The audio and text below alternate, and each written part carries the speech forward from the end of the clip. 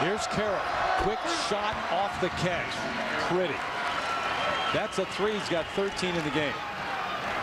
Well, you called it, Terry, at halftime. You thought Jaycee Carroll was going to heat up and really bring this ball club, put him on his back like he has done all season long. Foul along the baseline on the drive, and that's on Chris Clark, his first. Watch the footwork of Jaycee Carroll. This is what allows him to get the shot off. Bang, bang.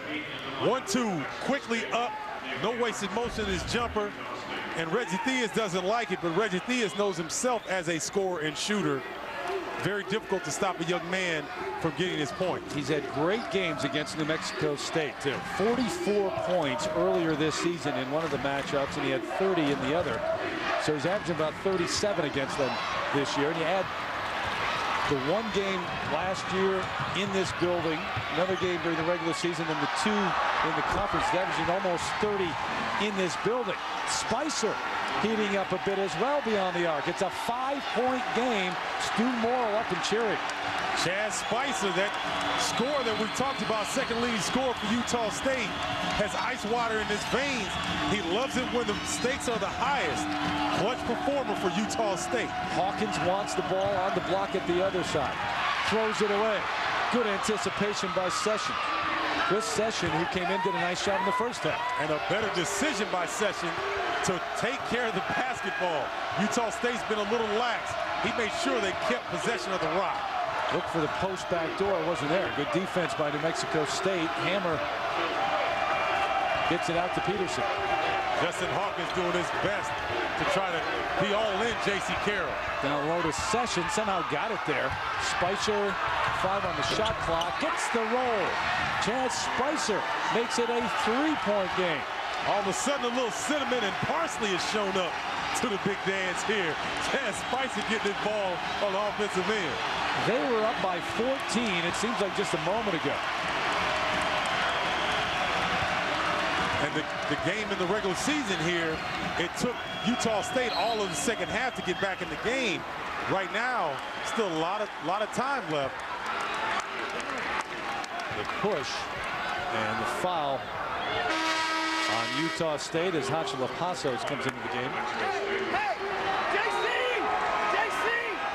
Well, Passos coming in more of a defensive stalwart as opposed to Martin Iti, who can post up and score a little bit better in the post. But right now, Reggie Theus looking for that defensive-minded lineup to slow down Utah State. Heat the offensive foul. Carroll defended him well. Spicer taking over at the other end. Just committed his second foul on defense, but they leave him wide open. And he knocks down the three. He can also hit the mid-range jumper and the game winner. They got more than one option going down the stretch. Linda, thanks. Georgetown's a team that I don't think many want to play they'll be the best number two seed in the tournament, I believe. And, uh, they've got four outstanding teams ahead of them, but they're right there and have all the ingredients led by Jeff Green to do some damage in the tournament. You know the other team that people are not going to want to see come up on the selection show next to their name is Southern Illinois. And they get after you. They just defend everywhere. Here's Carroll up and in out of the timeout. So it is a one-point game for the championship of the WAC. If I'm New Mexico State, one, you have to get stops because that allows them to get on the break. But you got to get Justin Hawkins involved. Here he is on cue. Hammer trying to defend. Nelson crossover, and he's fouled by Spicer, and that's his third.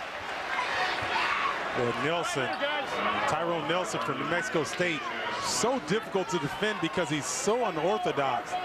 He's got these long strides, and when he catches it, just don't know what he's going to do. He goes twice as long with that one stride as you're normally used to from anyone else. So Spicer will take a seat, and Stephen Ducharme comes in off the bench. You can see Stu Morrill talking to his player, and I, I believe one of the things he is saying is that Nelson had to hit a jumper all night, back up and let him shoot over the top. The foul over the back on Hatila Passos. Passos and Iti split time in the post for New Mexico State. And Reggie Theus saying, apply the pressure, fellas? Full court press. That's how they got the early lead in this one. Well, you can see Jaycee Carroll trying to work the middle. Once they get it past the first level, they want to try to get the ball to Carroll. Walking violation, and Stu Morrill can't believe it, and I must admit, I'm not sure I saw that either. It was knocked out of Deshaun's hands. I saw a push in the back that yeah. looked like it was, uh, there must have been a lot of bodies in front of the official down there along the baseline to not see it. But for the most part, they've done an outstanding job of allowing this game to be physical and, and allowing the players to play. Yeah, until the last couple of minutes, there weren't many whistles in this one. Chris Session picked up his first on the reach from behind. Ted Nauber comes into the game, and Fred Peete takes a seat. Fred Peete not happy to be going back to that bench, but his ankle, I talked to him before the game, he said it was about 70%, but he just doesn't have the movement nor the strength that he would normally have.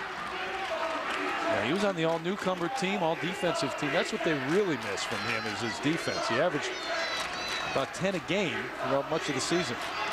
So some pretty good offensive output, too. Well, this young man with the ball has been quiet as well. We mentioned it last night, a season high of 26, and he's hit a couple shots, but he hasn't looked for his offense as much as he did last night. Hammer locked it from behind. Here comes Peterson. The double team and Ducharme. Nice catch. Gathers himself off the glass and in, and guess what? Utah State, which was down 17. They were down 14 just a few minutes ago. They've got a one-point lead. And Reggie, who's been as animated as we've seen him throughout the season, starts to worry a little bit.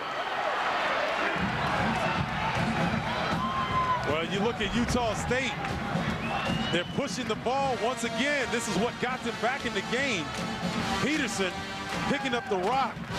Nice find, Ducharme, and, and that's, that's bench press work right there, partner. Nice pass, takes the contact up off the glass.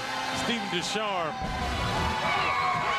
Good work on the interior. And there are some Utah State fans here. They go everywhere, actually. I had a couple of the Big West Championship games where they, they used to pack a place in Anaheim, and their fans travel. And I tell you what, their home court, the Spectrum, is one of the best in college basketball. Very difficult to go in there and sneak a, sneak a victory. Remember, they pulled off that, uh, I call it an upset over Nevada because Nevada obviously was the top seed, a top 10 team throughout right. the year, one of the best players in college basketball, Nick Fazekas. But Utah State actually beat him twice in a span of eight days. They beat him at the end of the regular season as well. And by the same score, and by Chaz Spicer hitting two free throws in both games. They struggled down the stretch and lost three of their last four regular season games, but now have turned it on. We'll see what Theus set up in the huddle. It's like they're going to go to Iti in the block and look, hope that they double team him to present open shot. Ingram with the miss, tipped out. That was awfully close to over and back. Here's the double and the trap. This is where you have to be careful of Utah State getting spread defensively. The foul, the bucket doesn't go. So Chris Session picked up the foul, his second. You saw Nelson there once again going to his offhand, going as strong left as he does right. That's what makes him such a difficult guard.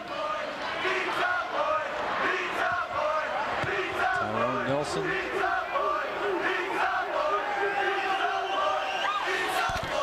ties it up. So we are tied with 9.28 left here in Las Cruces, New Mexico. The Pan American Center. Terry Gannon along with Stephen Bardo, the championship of the WAC on the line and the automatic bid to the NCAA tournament. Nevada is already going from the WAC. Who else will join? The trap and the full court pressure.